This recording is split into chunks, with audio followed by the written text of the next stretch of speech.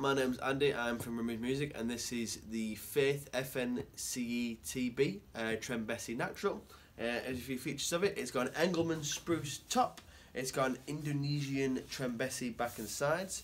It's got an ebony uh, fretboard, an ebony bridge, and an ebony little kind of neck plate, as they call it.